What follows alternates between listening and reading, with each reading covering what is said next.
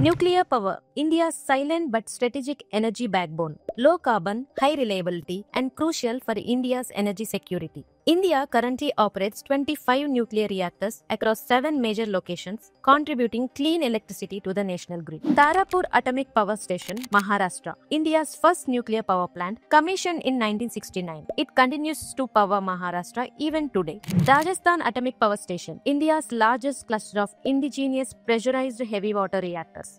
Narora Atomic Power Station, Uttar Pradesh supplying power to North India, proving that nuclear energy is safe even near densely populated regions. Kakrapar Atomic Power Station, Gujarat, home to India's 700 megawatt indigenous reactors, a milestone in Atmanirbhar nuclear technology. Kaiga Atomic Power Station, Karnataka, one of the world's best performing nuclear power plants deep inside the Western Ghats. Madras or Kalpakkam Atomic Power Station, Tamil Nadu, is not just power generation but also India's advanced nuclear research hub.